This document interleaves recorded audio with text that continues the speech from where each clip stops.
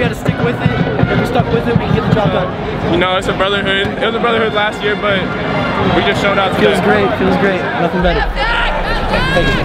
Uh,